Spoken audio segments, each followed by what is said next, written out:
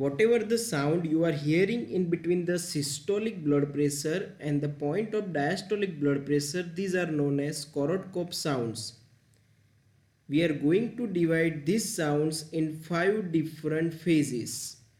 In the phase 1 sudden appearance of a faint tapping sound for the next 10 mmHg fall for example someone's blood pressure or the systolic blood pressure is 120 mmHg. Till the lowering of the 10 mmHg, we hear the phase 1 of the Korotkoff sounds. In the phase 2, the sound is murmurous for the next 10 mmHg fall.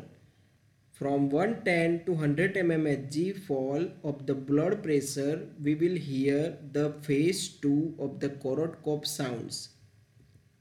Phase 3 clear and louder sounds next 15 mmHg fall. So from 100 mmHg till the minus 15 mmHg means 85 mmHg we will hear the phase 3 of the Korotkoff sounds. Phase 4 muffled sounds for next 5 mm Hg fall.